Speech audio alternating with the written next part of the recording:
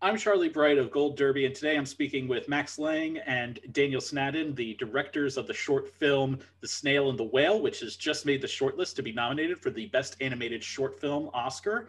Uh, Max, the first question is to you. Um, you've directed, this is a, uh, yet another short that you've done that's been uh, adapted from uh, books by uh, Julia Donaldson and illustrated by Axel Scheffler. Uh, how did this working relationship with these authors start? Um, well, it all goes back to 2008 when we were actually working on the Gruffalo, which um, is their most popular book. And um, we were tasked with uh, doing an adaptation of that book. And at that time, that task was quite daunting because every kid in the UK and even Germany knew the book and um, it's rhyming. And we were, our task was preserve the rhyme, don't add any dialogue or, or lines and um, but make it half an hour. And at that time we were a bit intimidated by that. If, is anyone even going to watch that? But as it turned out actually people really embrace that um, kind of storytelling where you have a bit of moment to breathe and um, and some quiet moments um, more character instead of plot these kind of things. Um, yeah, and then so after the Gruffalo came Room on the Broom, and during that time, um, I started reading all their other books, thinking like maybe we can make another adaptation out of one of them if it all goes well. And I came across The Snail and the Whale, and I have to say it became probably my favorite picture book of all time. It's just so beautifully written, like the the um, the prose, the rhyme is, is just fantastic and it's just a beautiful story. Yeah. And uh, Daniel, um, the next question is to you. Um, mm.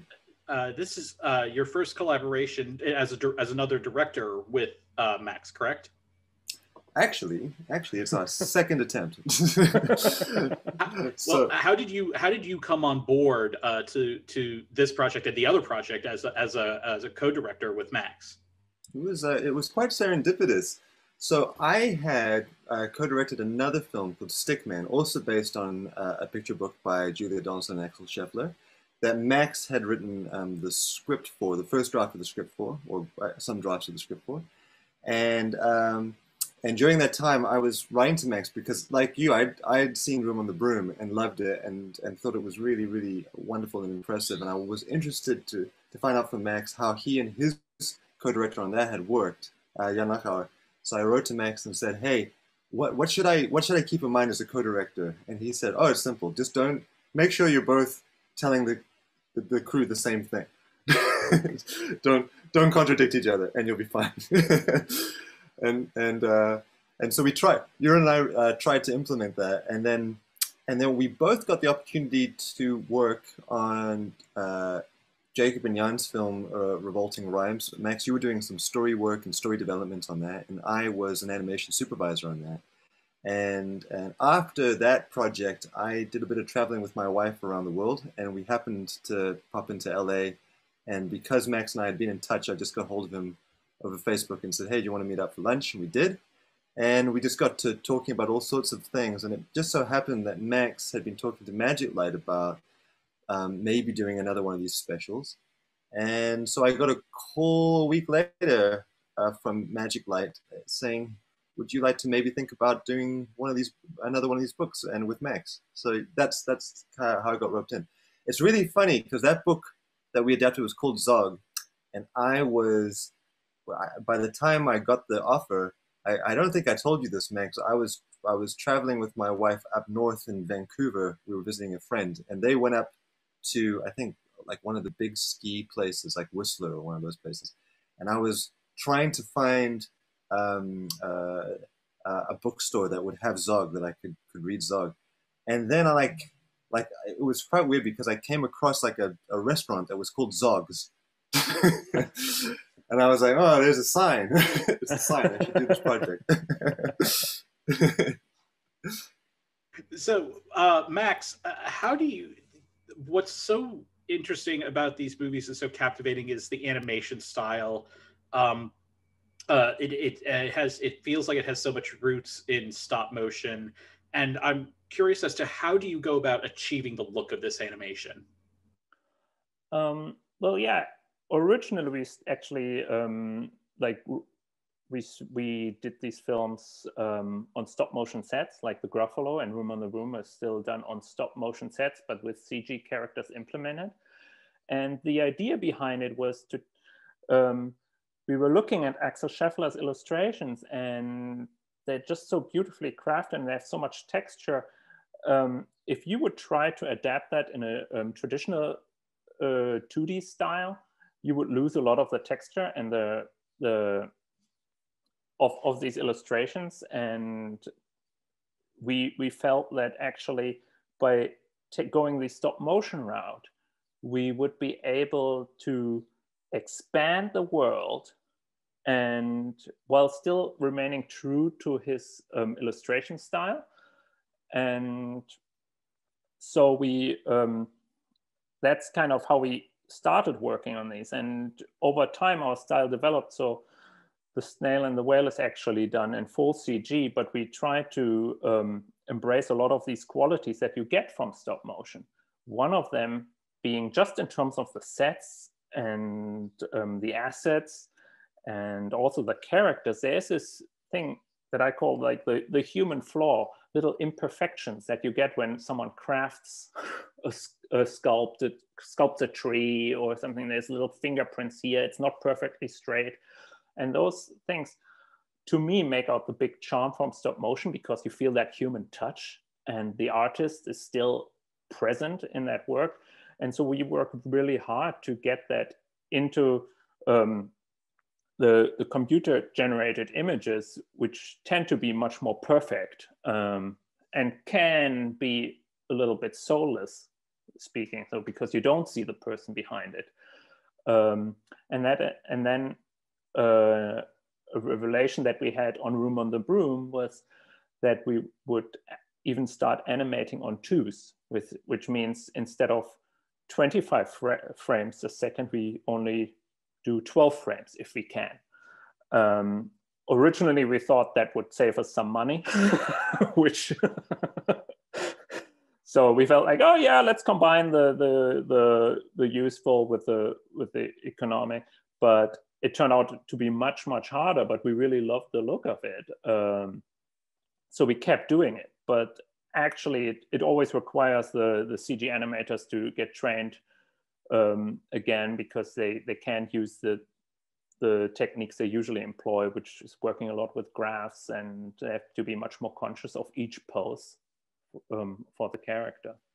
Yeah, I'll just I'll just uh, back up what Max is saying. Um, that the the team, when we're approaching the design of the sets and the assets, uh, we always um, go to we always try to find um, uh, DIY kind of model videos and um, and good references from people who love building doll houses, miniature trains, work on stop motion films to see how do they approach constructing uh, these different kinds of things, whether it's trees, grass, uh, rocks, um, buildings, uh, because they come up with some really ingenious ways of of, um, of of making these things, and and part of the appeal that we're hoping to kind of capture is some of the thought process that goes into well, if you have to build this miniature, how would you build it? What would you build a you know um, a, a, whole sort of um, town out of?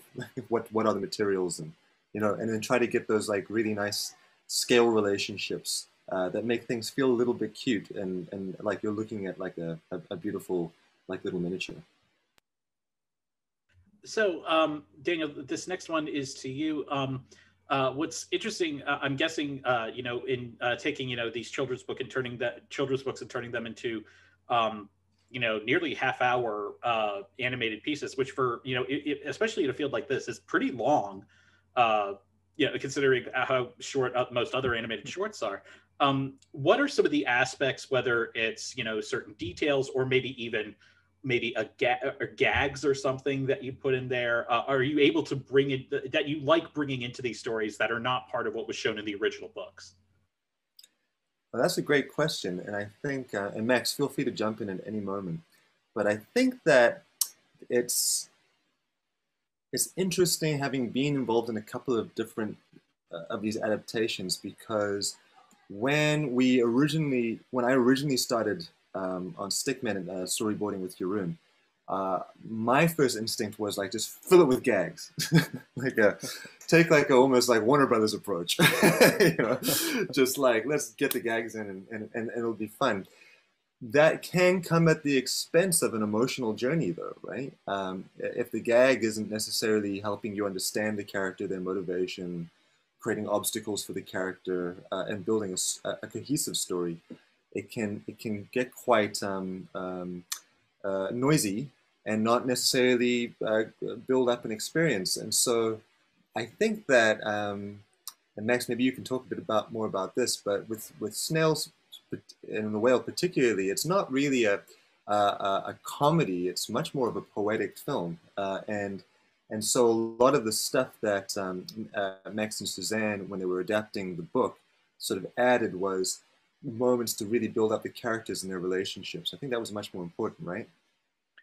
Yeah, I mean, there is this opportunity because, yeah, in terms of dialogue, there's only like seven minutes, let's say, dialogue and narration. And there's this opportunity to, to invest that in character. For example, um, what we did for Snail and the Whale, like we gave the little snail a moment in the beginning of the film that is not in the book. It's one of the things that we added, where she actually tries to um, hitch a ride on her own and sail out into the world on her own and it goes horribly wrong. She almost gets eaten by seagulls. And what that helped us to establish was that she was trying. She she had the drive to go out there. She was not just sitting there for someone to come by and um, help her out of her misery. But it is a dangerous world out there. It's established stakes as well, and um, it it really made her into this character. Yeah, she's the little snail with the itchy foot, but she's also brave. She's not intimidated at, at, the beginning of the film. That only comes later as she gains knowledge and sees the world. She starts to feel small. Um, and then another thing that we um, took inspiration for, for, for this film, especially, is like nature documentaries. Um, when you watch these films, like the, um, there's often it's just the imagery and music and it's enough you know? Sometimes it's enough and and just being able to pause for a moment and enjoy how beautiful everything is i think that's a big part of the theme of the film too you know? It's really about celebrating the beauty of our planet and doing what we can to preserve it so, um, uh, Max, this next one's to you, um, and this is about uh, the voice performers. Uh, it's it's so nice that you brought back uh, people like Rob Brydon and Sally Hawkins, who were both in Room on the Broom, um, uh, and you also uh, have also one of the last performances by the glorious Dame Diana Rigg. Um, you know, what was it? What do you with with Rob and Sally? What do you enjoy most about directing them, and also, but with with Diana Rigg, what was it like working with her? Okay. Um, well, again, it takes me back to Room on the Broom, like talking about Sally, where um, we had cast her at the as the bird, and she came in and she gave such a wonderful performance. And in my head, I was only thinking like, oh no, the bird only has three or four lines. I want to hear much more of her. Um, and I was already thinking about Snail and the Whale at that time. And I made that mental note thinking like if we ever get to do that film i want her to be the snail um, because i just love her presence that she has on screen. Also like if there's a moment where the character doesn't talk there's a lot of like breathing and just presence that has to go into characters like this and, and she's just amazing at that. And then rob is a very very different performer. He can do any kind of voice. I remember when we first started working with him on the gruffalo he was a snake and this was the first time working with anyone like such a caliber for me. I was like in film school still at that point. And he came in and he could do any kind of voice. we were like, oh my God, he can do anything. What are we going to do now? now we have to find the, the voice for the character. And that continued to um, the cat in Room on the Broom, which is such an integral character for that journey, but doesn't talk at all and originally felt felt a bit self-conscious about asking Rob even to do to do a character like that. But it turned out he's also really, really great at animal sounds. We thought we would have to replace all the purrs um, with with actual meows or a purrs from a cat, but he did all the sounds.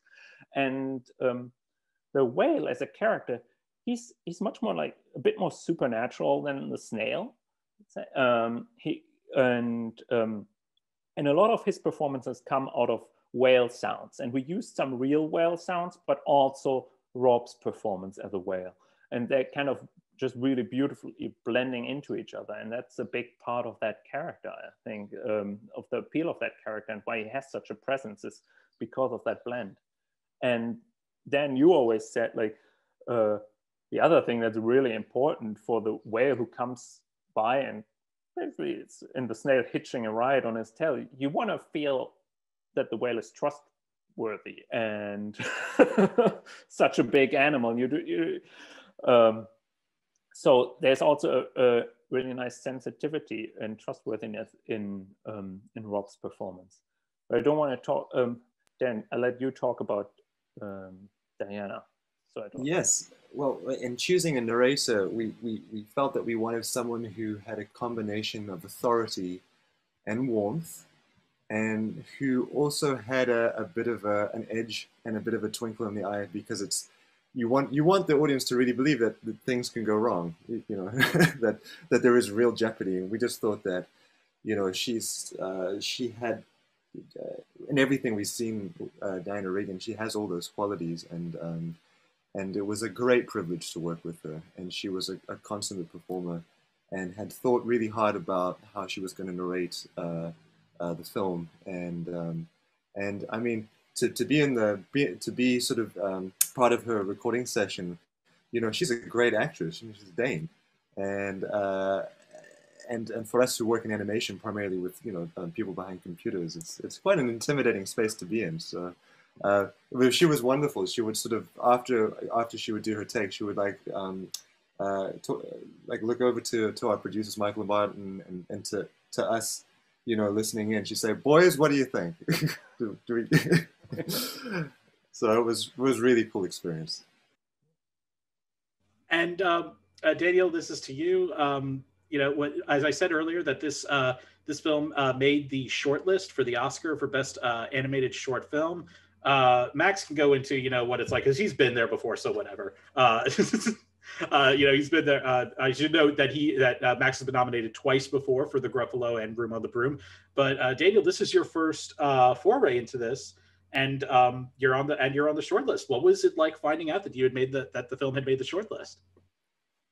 Oh, it was it was a wonderful surprise. Thank you. I mean, there was there were a lot of um, films that qualified this year and some of which um, I had seen because uh, Snail's been doing a bit of the, the festival circuit, and I just thought um, the, the competition is, uh, is so uh, uh, good, the, the quality is so high, and there's so much variety and so, so much so many interesting approaches to animation um, that um, you know uh, you, you, you try to keep your expectations very reasonable, and uh, and to find out that we we actually made it onto the list I mean, for all of us working in South Africa, it's it's such a, a, a weird thing to be recognized in, in, in, this kind of a way. So we're very happy and grateful and really excited and and, and not not not trying to um, to count our chickens before they're hatched or anything, but we are enjoying the moment while it lasts uh, that we're on the list. Yeah. And the one thing I want to add to that is like what I really love about the shorts category is that they that all the films are so different even if you look at the 10 films that are on the shortlist right now, they're all magnificent and they're all so different and all special in their own way. And it's, I don't think you have that in any other category, really, um, where the competitors are so, so different and so hard to compare. So for me, that always takes the edge off a little because I, I genuinely love all the films that are on the list, and it's like it's it's really comparing apples and oranges, and so whoever makes it, it's deserved. I think. It, it, and is it also just sort of for you, Max? Is it also just sort of like you know a little bit of been there, done that since you've gotten nominated twice before? No, No, it was a little bit like that when we were got nominated for Room on the Broom because that was literally the second film I directed it. Um, but since then, I've I've made other films, and I I've come to know what a privilege it is to actually make it this far. Um, so no, I appreciate it very much. Yeah. Well, uh, Max and Daniel, thank you so much for joining us. Uh, we wish you all the best during this upcoming award season. And to all of our viewers, please like this video, smash that subscribe button, and don't forget to go to goldderby.com and use the Gold Derby app to make your predictions and see if you can outsmart the top prognosticators in Hollywood. Thanks again, guys. Thanks, Charlie. Thank you so much, Charlie. pleasure.